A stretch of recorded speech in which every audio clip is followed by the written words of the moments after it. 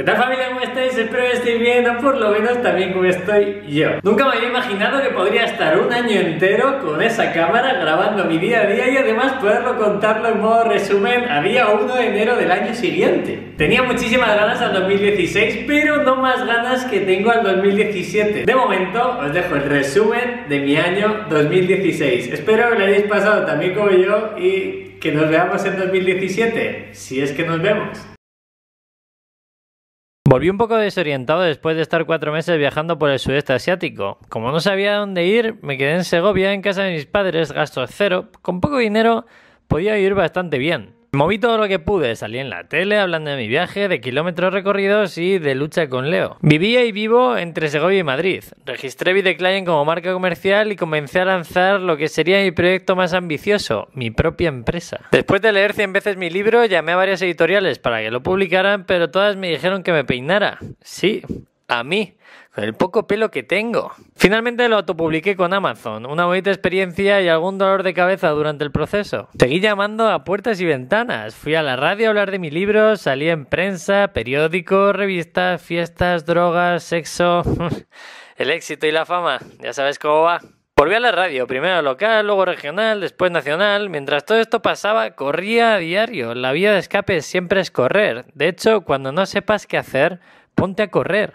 Me invitaron a la Cámara de Comercio para dar una charla y hablar de creatividad, ideas, negocios. Después vino la Casa Joven, Google Campus, la universidad, pero de eso hablaremos después. Mientras entrenaba para la Transvulcania, la gente me mandaba fotos tatuándose Muere Vacío. Es un honor que alguien lleve tu forma de vida en la piel para siempre. Fui 43 kilómetros en la isla de La Palma con mi hermano, gran carrera, bonita experiencia y mejor compañía. Espero volver. Cogí un avión dirección Berlín con mi socio Manuel. Conocimos a un tipo que estuvo casi muerto y nos dio su visión de la vida. Recuerda, siempre que puedas, aprende. También en ese viaje terminamos tomando copas con un tío en pelotas en un after en Berlín. Ese tipo de cosas hay que vivirlas. Seguí trabajando desde casa, haciendo webs, diseño, desarrollo de marca, de todo, hasta que Juanmi un día me llamó para ir a Motril. Tío, ¿te vienes al Ultraman? ¿A correr? No, de equipo. Ah, sí, sí, lo que necesites. Bueno, al final no salió como esperaba, pero volvimos a aprender. Me ofrecieron hacer de speaker en una carrera. Mi padre dice que hay que hacer de todo en esta vida hasta que algo se de bien, así que dije que sí. Después me volví a tatuar, lanzamos nueva ropa para Muere Vacío con ropa de calle y seguía entrenando sin parar.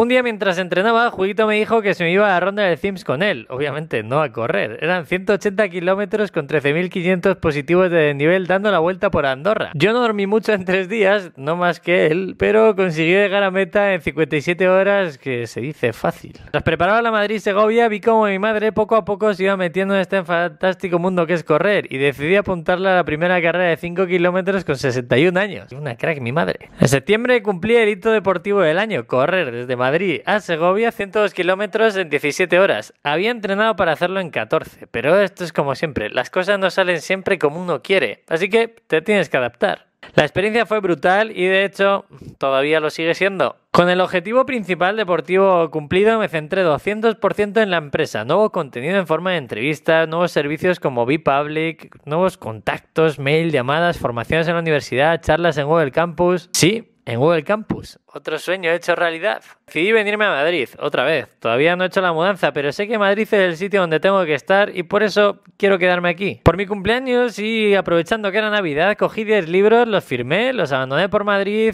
con la esperanza de que alguien los encontrara y los regalara a su vez. Soy así de iluso, ¿qué se le va a hacer? Y como no podía ser de otra forma, terminé el año corriendo, vestido de bailarina, disfrutando con los amigos de una ciudad que me deja ir, pero que siempre me pide volver.